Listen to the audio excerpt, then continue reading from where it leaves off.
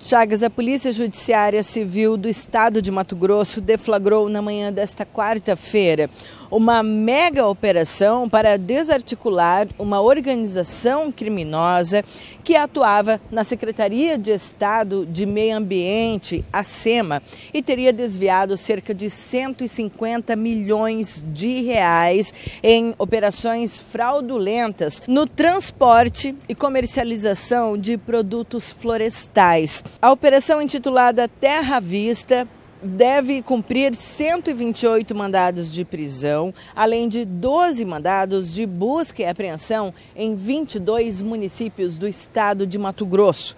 Os alvos da operação são representantes legais e operacionais, engenheiros florestais e ex-servidores da SEMA, a Secretaria de Estado de Meio Ambiente. Entre os mandados de prisão havia uma pessoa aqui de Sorriso, porém, esse mandado de prisão aqui no município não foi cumprido, pois o alvo e o suspeito não foi localizado. A Polícia Judiciária Civil também não informou o nome desse suspeito.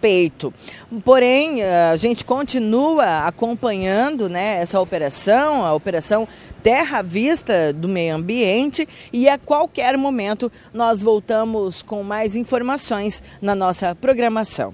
Eu volto com você no estúdio, Chagas, com imagens de Lucas Torres, Larissa Gribler para o Balanço Geral.